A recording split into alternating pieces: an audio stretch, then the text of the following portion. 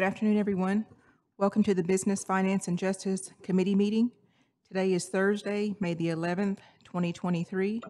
I call this meeting to order at 3 o'clock PM. Invocation, Representative Pat Freeman, please.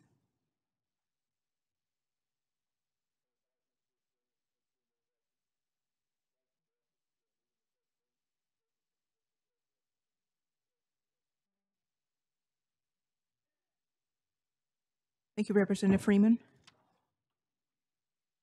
Roll call, Legislative Clerk April Lindsay. Patrick Freeman. Sandra Golden. Present. Randall Hicks. Present. Thomasine Yohola Osborne. Present. Mark Randolph. Present. Madam Chair, you got five present and zero absent. We have five present and zero absent. This constitutes a quorum. All business conducted will be valid. Next item on the agenda is approval of minutes of April the 20th, 2023. When the committee is ready, I'll entertain a motion.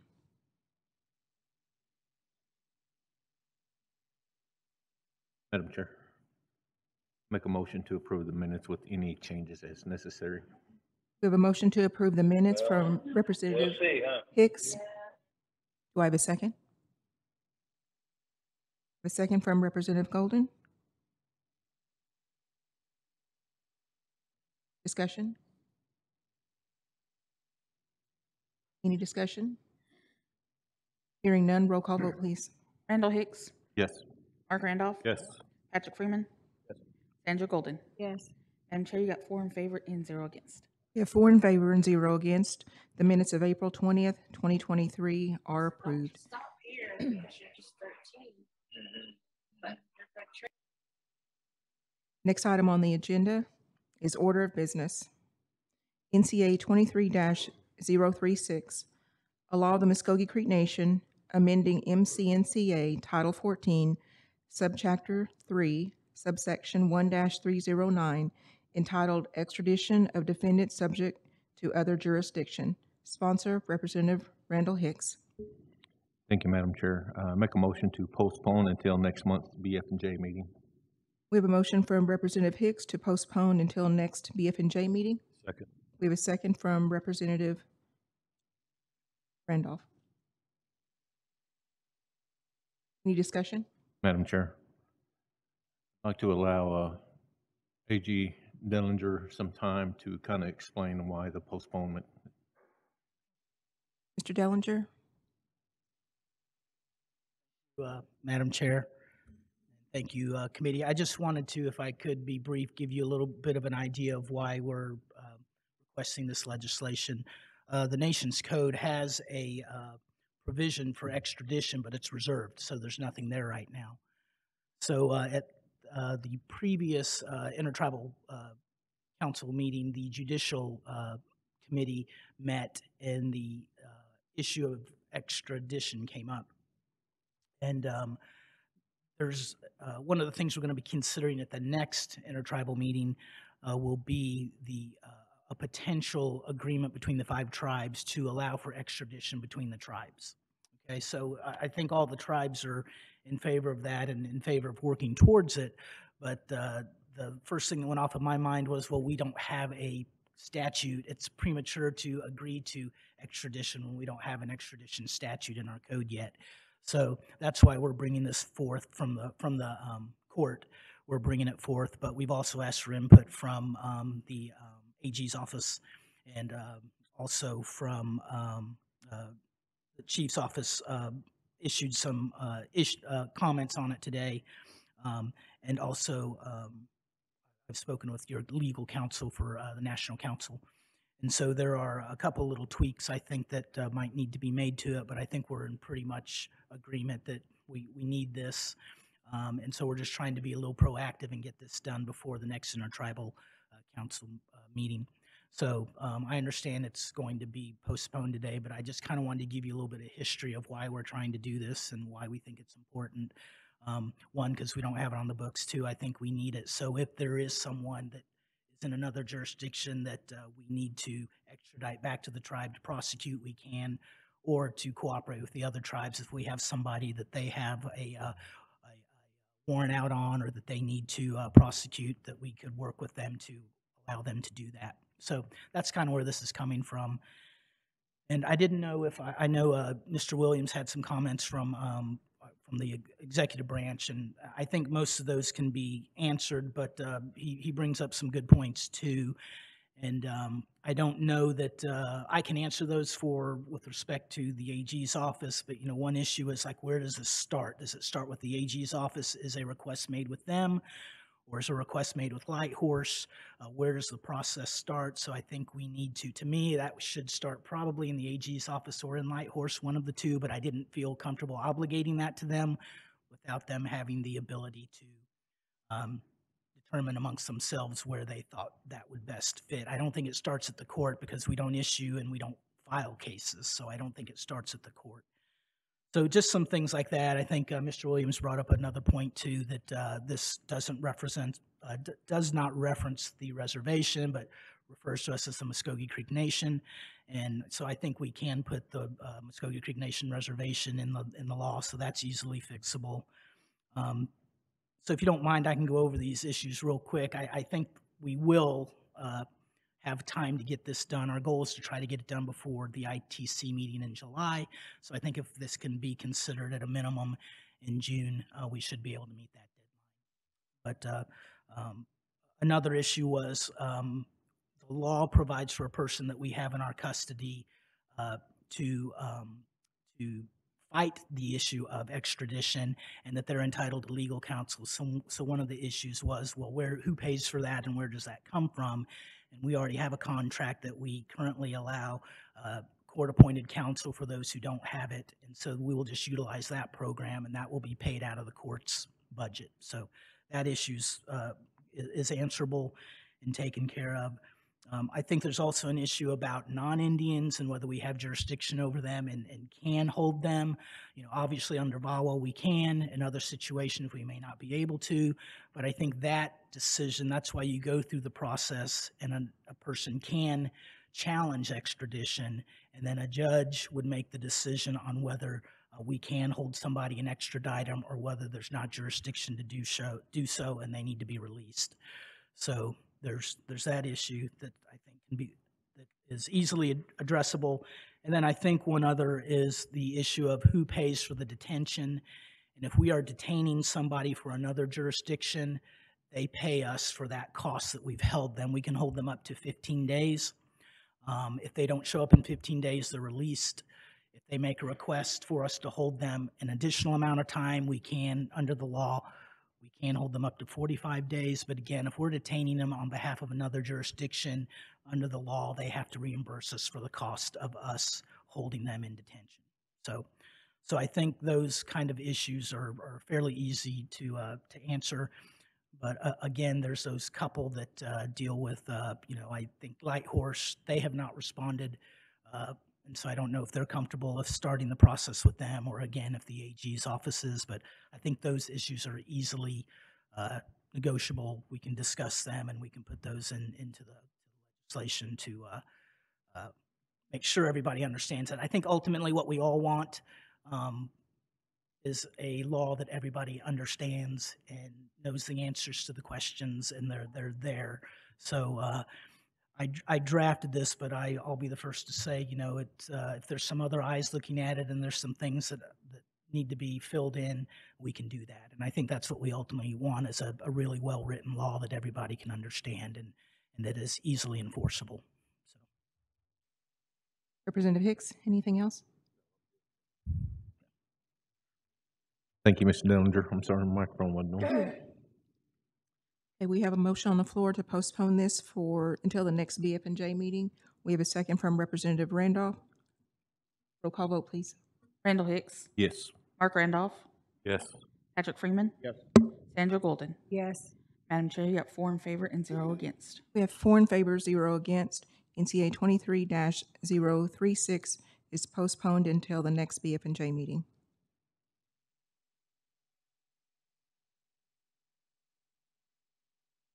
NCA twenty-three 37 allow the Muscogee Creek Nation creating new law in Title thirty-seven, Chapter ten, entitled Department, Departmental Policies and Procedures. Sponsor Representative Sandra Golden. motion for a due pass, We have a motion for due pass from Representative Golden, second from Representative, Representative Freeman. Discussion? Representative Golden? Yes. Um, This came about, guess, um, pretty much from a number of different calls that we've been receiving, talking with other representatives. And we, we really don't know what the internal infrastructure is as far as how the policies relate and when it comes to providing the services to the citizens. And so when we have to um, explain to them why it's done this way, we really don't know what the policies are. And, and we don't really have a way of, of knowing that.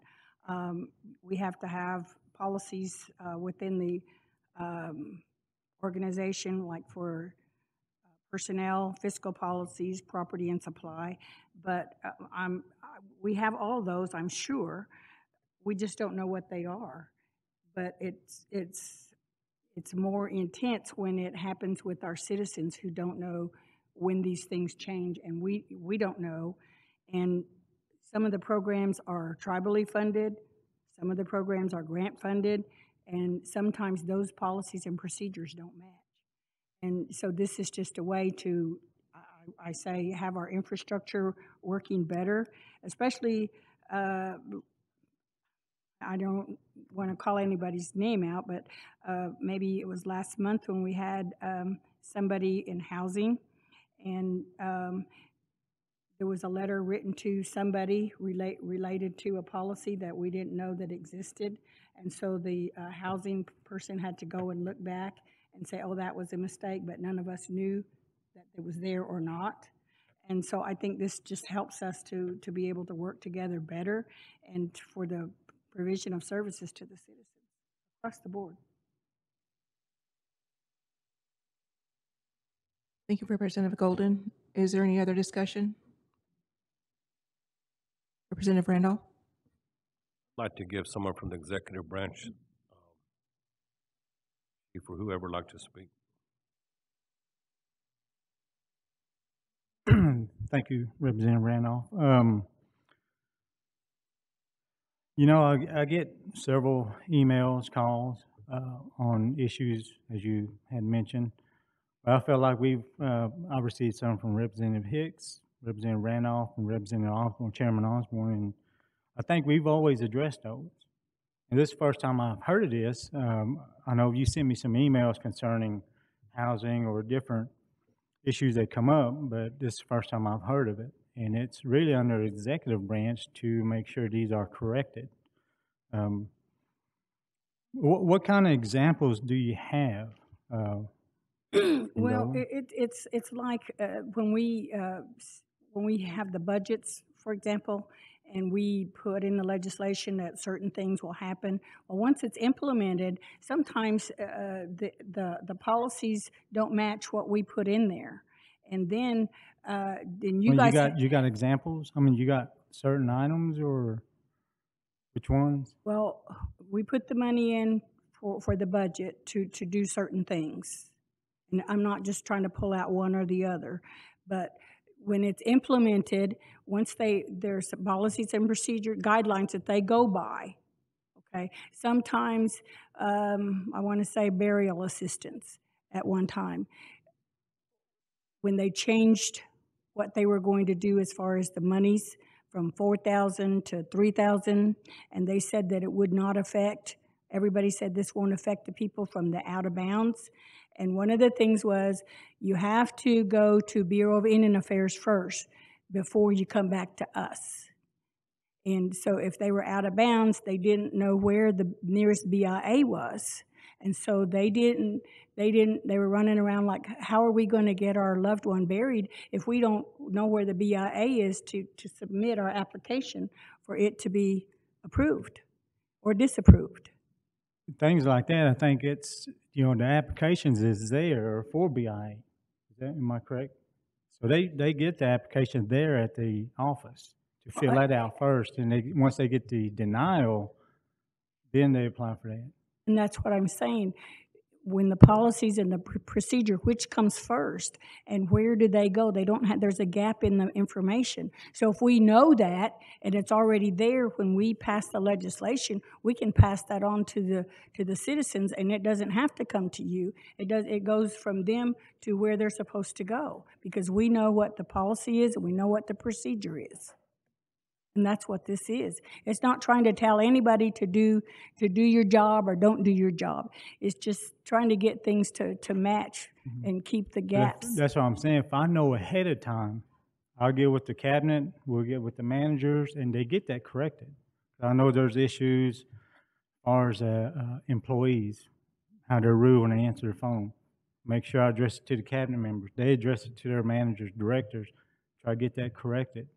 I mean, if I know ahead of time that we're having these problems, we can get it corrected, but I don't see why this is necessary. Well, it's, it's, it's like you're saying, if you know ahead of time, there, there may be somebody in that office that, that's no longer there and there's another person there. They don't have any guidelines to go by. So if we make sure that that's there, then they know what to do, even if you're there or if you're not.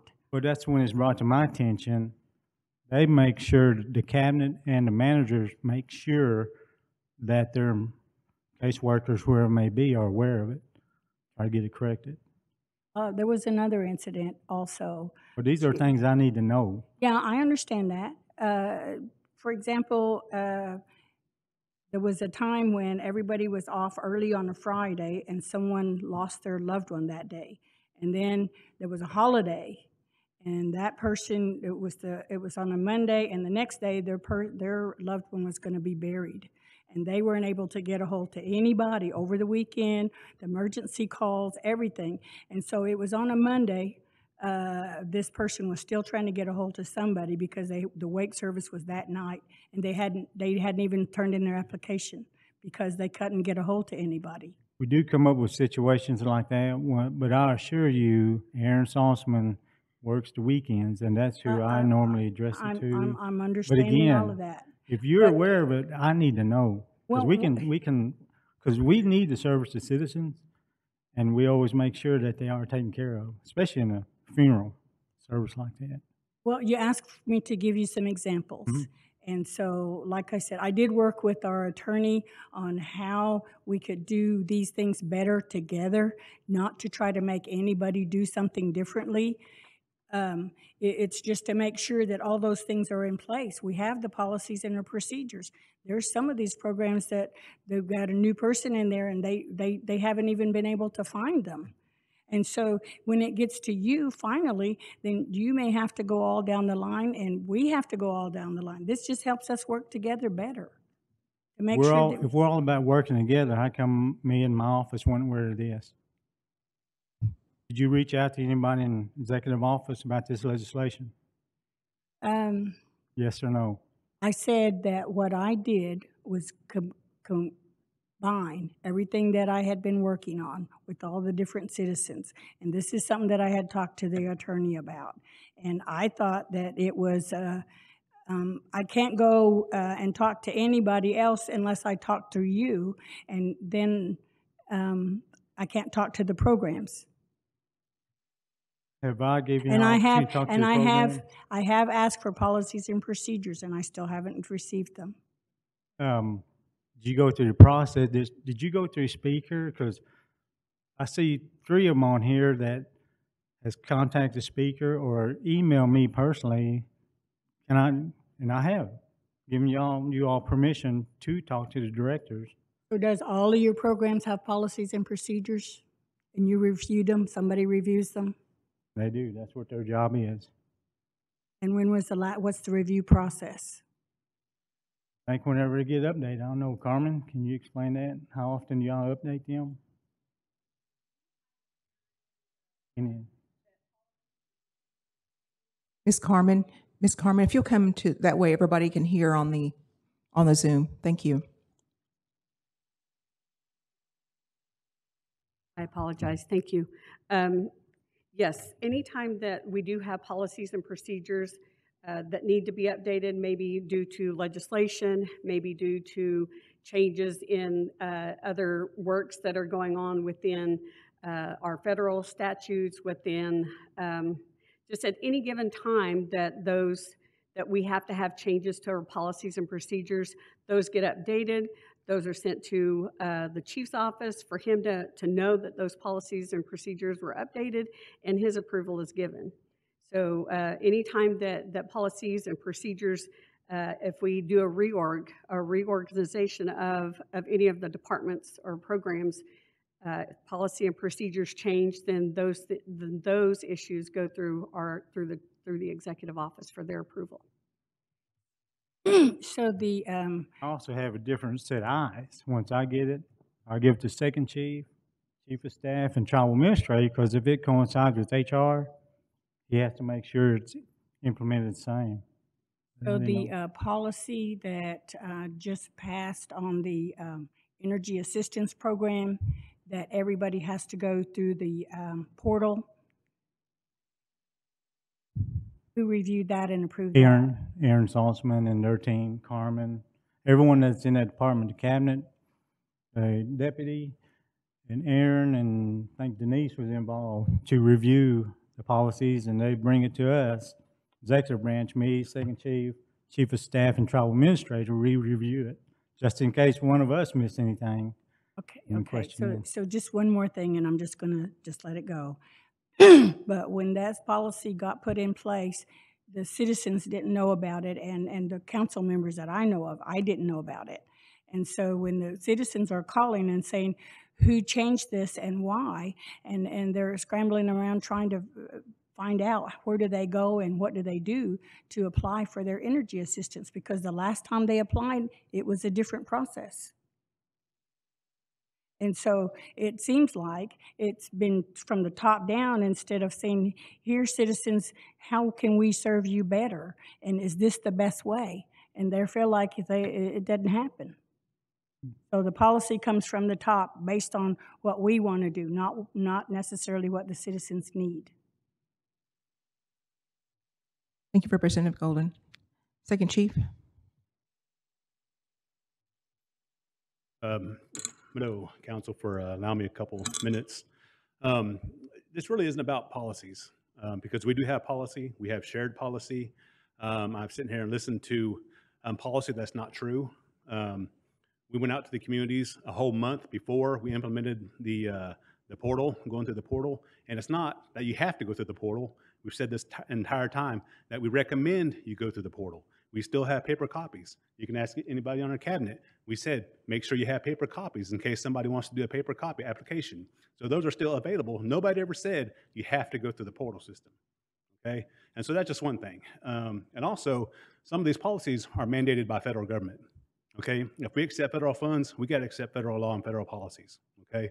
Um, but what this is really about is that um, in this legislation, uh, I have a there's a, a few concerning bullet points on here that um, that's really just not true.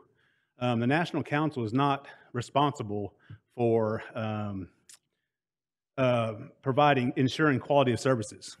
That's not the National Council responsibility. That's the the duly uh, That's the duly responsibility of the elective of the uh, executive branch. And I think we can all agree on that. The National Council is not about providing services. You're about what the law says, providing the money so we can provide services. And that's what the law says, and that's, what that's what our Supreme Court has said. And so there's a couple other things in here that uh, I think overreaches what the National Council is supposed to do. And so, um, so it's very concerning not only to us, but to all the employees of the nation. And so uh, we've had a lot of feedback um, about this law from our employees, and it's not good feedback. And so if we want to have a sit down and talk about policies, then we can. But this has never came to our desk. We never heard about this before, um, before we saw it come through. And so if we're going to talk about policies, then, uh, um, you know, hey, uh, I, I think that we should have a sit down and talk. I think that would be the uh, correct way to do these things, is come down and sit where we are, and we can talk about policies. But this legislation right now, I think, is illegal. I think it oversteps boundaries, and, uh, and that's what I have to say about it. No. Thank you, Second Chief. Are there any questions, Representative Hicks? Thank you, Madam Chair. Um, Mr. Kyle, got a question for you, sir.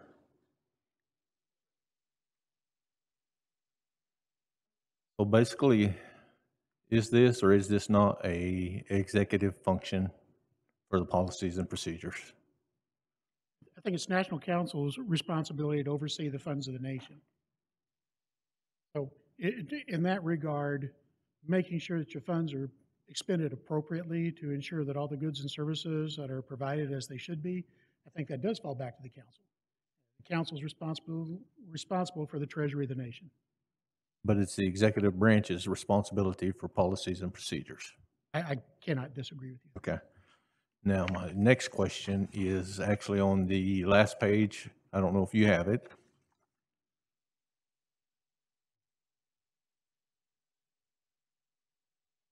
Yes, sir. Number two, failure to comply with this law will impact such departments' annual appropriations. How is that? Uh, Again, it's back up to the national council to approve the budget on an annual basis to fund the different departments. So you need compliance to ensure that they are doing what you're funding them to do. I- I think a lot of what's happening is there's not a complete understanding that there are policies and procedures because the calls do come to the national council about what policies and procedures apply. And it's just that those cannot be forwarded on to the individual citizens. That's kind of what I understand the issue to be. So I think the assumption is they don't have policies and procedures that they can share with citizenry. Maybe I'm not seeing this right, or maybe I'm not understanding my position. As a tribal legislator, my understanding is we write the laws. Yes, sir. Executive branch writes policies and procedures, and it's their responsibility to follow the, par- the policies and procedures. It's not my responsibility to make them. Well, I agree with that. I agree with that. I think the response, or the response I would have for you, based upon the questions that were asked, or the directions I was given by Representative Golden, are how do the citizens know? So the question was, how do you, should you have a copy of the policies and procedures so you can present it to the citizens so the questions can be answered? Again, maybe I'm wrong, but when a citizen asks me a question about policies and procedures, I don't answer them directly. My response is, let me get with the executive branch to get the correct answer, so I'm not telling you anything different. So to me, that's my process. Again, my process or my way is legislative, that's an executive function. If I want the correct answer, then I reach out to the executive branch and I do not try to answer a policy and procedure question. And I can't disagree with that process, Representative. I, think the request, though, was to be able to present to the citizens a copy of the policies and procedures and wanting to ensure that policies and procedures exist so that they can be passed along to the citizens. Which, which I understand, but again, it goes back to my, the way I see it, it should go back to the executive branch. They should be the ones to answer the question, not council. That's just, I certainly but thank you, understand. sir. Yes, sir. Thank you, Madam Chair. Any other questions from the committee?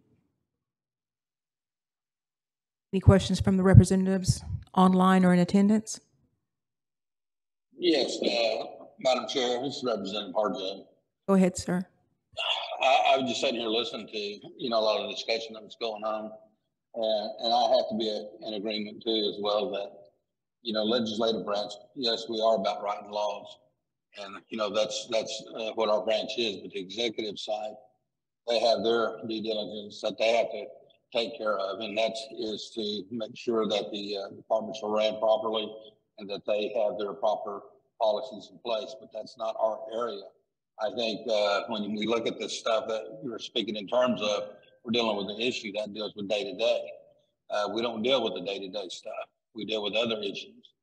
Uh, we may be advocates and we may set in a place to where we listen to the citizens. And again, I think it reflects right back to what uh, Representative had said that then we step forward and we ask the executive branch and we ask them uh, to speak to that particular policy with this particular citizen.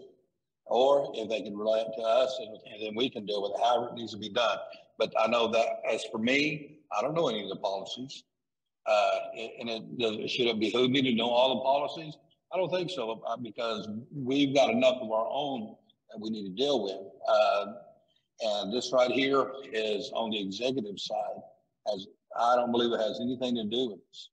Uh, now we may we may uh, approve the budgets for the expenditures of the monies and different things, And, and I'm sure that if there's something in there where they have to bring policies to be approved, but then, then I think at that time we're updated on what's happening. But outside of that, I, I think it's very inappropriate for us as legislators to think that we have uh, the ability to over have, have oversight over those things. That's not our position. Thank you. Thank you, sir. Any other questions or comments from the representatives online or in attendance? Hearing none, roll call vote, please. Sandra Golden, Yes. Randall Hicks, No. Mark Randolph, No. Patrick Freeman. Yes. Madam Chair, there's a tie vote. In that case, you get to vote. Thomasine Yahola Osborne. No.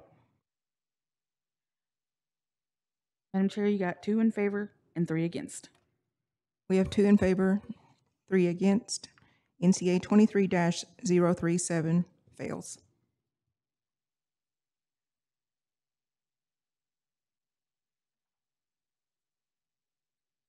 NCA twenty-three 38 allow the Muscogee Creek Nation to amend Article Six, Section Two, and subsection A of the Constitution of the Muscogee Creek Nation by deleting both at-large voting and at-large repre- representative and replacing it with eligible registered district voting, resident and absentee, and district representation pertaining to the Muscogee Creek Nation National Council. Sponsor, Representative William Lowe. And this is the substitute, NCA 038 substitute. Madam Chair, make a motion to postpone till the next BF and J meeting. We have a motion to postpone until the next BF and J meeting. Second. We have a second from Representative Randolph. Discussion? Madam Chair, again, this is another piece of legislation that needs more tweaking or more work put into it. From my understanding, there were some issues that weren't addressed. So that's the reason for the postponement. Any other discussion from the committee? Any discussion from the representatives in attendance or online? Okay, hearing none. Roll call vote, please. Randall Hicks, Yes. Mark Randolph, Yes. Patrick Freeman, Yes. Sandra Golden. Yes. Madam Chair, you got four in favor and zero against. We have four in favor, zero against. NCA twenty-three 38 is postponed until the next BF and J meeting. Next item on the agenda, we have referred legislation, NCA twenty-three 33 and NCA twenty-three 40 Ms. Killian, what is the funding source for these two items, please? NCA twenty-three zero three three would be interest on permanent fund. NCA twenty-three oh forty would be gaming fund. Thank you, Ms. Killian. Thank you, Madam Chair. NCA twenty-three 33 interest on permanent fund. NCA twenty-three 40 is the gaming fund. Do I have a motion to approve the funding source? Madam Chair, I make that motion for NCA twenty-three zero three three, interest permanent fund, and NCA twenty-three zero four zero gaming funds to be approved. We have a motion from Representative Hicks to approve the funding sources. Do I have a second? We have a second from Representative Randolph. Any discussion? Roll call vote, please. Randall Hicks, Yes. Mark Randolph, Yes. Patrick Freeman, Yes. Sandra Golden. Yes. Madam Chair, you got four in favor and zero against. We have four in favor, zero against. The funding sources have been approved.